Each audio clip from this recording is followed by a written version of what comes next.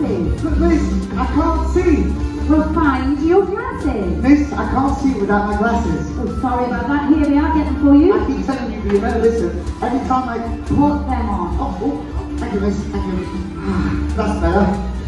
Ooh, What's the matter now? Now I can see. Oh, don't be so cheeky. Don't sit down. Okay, class. Our first lesson is about careers. Careers? Rosie, please stand up. What would you like to be when you grow up? Like to be an environmentalist and save the planet. Oh, that's what.